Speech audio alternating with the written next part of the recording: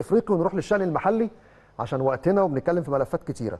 طبعا أنا بعلن من خلالك ومن خلال برنامج الترند ماتش الأهلي وسموحة اتأجل نتيجة إن مباراة الأهلي وشباب بلوزداد اترحل ميعادها من 14 ديسمبر. نظرا لمشاركة الأهلي في كأس إنتر كونتيننتال في قطر والمباراة هتتلعب مع بلوزداد يوم 22 وده نفس توقيت مباراة سموحة. وبالتالي مباراة سموحة اتأجلت. وده يخليني أروح أسألك إدارة المسابقات ودي أول تأجيل نتيجة مشاركة الأهلي في كأس العالم؟ أستاذ طه عزت رئيس لجنة المسابقات. هل تتوقع أن يرحل الأسبوع بالكامل إنه السنة دي وعامل شكل مختلف لوضع جدول الدوري؟ مفيش حاجة اسمها مؤجلات. فرقة عندها مسابقة إفريقية أو دولية الأسبوع كله بيترحل ويتلعب كله في توقيت واحد. هو ده النظام جاي بس الترحيل؟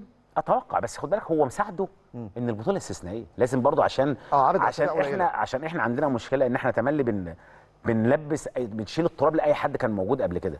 أنت ما تجيش تحاسب الكابتن عامر حسين أو ايا كان كان مسؤول الفترات اللي عدت وتشيله حاجة بتبقى غصب عنه. أنت كنت بتلعب موسم صعب جدا مع آه، تشابك مع ضغوط غير عادية. لكن أنت الراجل ده جاي موجود جاي في دوري استثنائي. أنت بتتكلم عن 8 أسابيع أو 9 أسابيع أقل أقل في المدة الزمنية. فطبيعي إن هو عنده المساحة الوقت إنه يأجل ويرحل ويشتغل. بس أنا بس عندي تحفظ على الأستاذ طه عزت.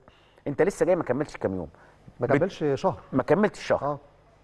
أنا مش عايز أخوض في جزئية إن رابطة الأندية وجود الأول ليه تصريح أهو قالوا إن شاء الله هذا الموسم لن يكون هناك مؤجلات. تمام آه، على فكرة برضه ودي مساعده أول تأجيل. لا هو هو حتى لو ماتش الأهلي تأجل هو الدنيا مساعداه.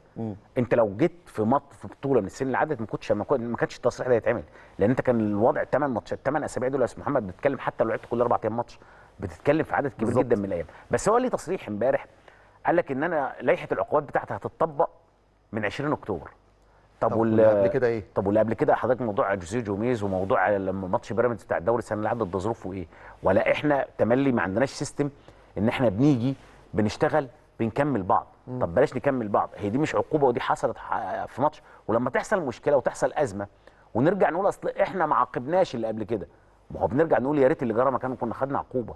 ما فيش حاجة اسمها تقول لس أنا هبدأ لائحه العقوبات تطبيقها بتاعت لجنة المسابقات من الوقت ده. يعني أنت عايز تقول لي إن ماتش أحداث مباراة الأهلي وبيراميدز وأحداث مباراة الزمالك والمصري انتهت؟ ما هو ده تصريحه. إيه، هو ده تصريحه امبارح. انقضاء الدعوة يعني ولا ما هو إيه؟ ده تصريحه امبارح. النقطة الثانية أنت بتتكلم برضه طلعت ده قبل كلام خطير على فكرة. جدا. ما هو طلع من كام يوم برضه وطلع اللي هو ثروت سلم رد عليه. يعني أنت بتتكلم دلوقتي تمثل رابطة الأندية المصرية. رابطة الأندية المصرية المفروض أنت تطلع تتكلم. ما ينفعش حاجة تقول لي الموضوع ده. لا أنت ممكن تقول إيه؟ تقول إن إحنا بعتنا لجنة الانضباط. أنا أتقبلها منك على فكرة لو أنت قلتها كده. ولجنة الانضباط ما طلعتش القرار دي مش مشكلتي. لكن تطلع تقول إن أنت حاسبني بلائحة العقوبات من يوم 20 أكتوبر من وقت الصدور بتاعتي. لا ده كلام أنا مش. هحاسبه. هو كده كده الملف عند لجنة الانضباط. أحاسبه هو ليه؟ ما هو لو قال هو يعلق ليه أصلا؟ حلو. هو لو قال الجملة دي أنا أتقبلها. برغم إن أنا مع كامل الاحترام المنظومه كلها واحد. أنا ما بعترفش بجزئيه انت تقول لي اصل أنا ومش أنا وماليش دعوة لا الكلام يعني بص رابطه الانديه واتحاد الكوره إحنا عملنا كيانات موازية. هي موازية. في الأول آه طبعا. هي في الأول وفي الآخر رابطة الأندية دي جزء من اتحاد الكورة ولازم الموضوع ده يرجع كده تاني. صح. ما يزعلش حد.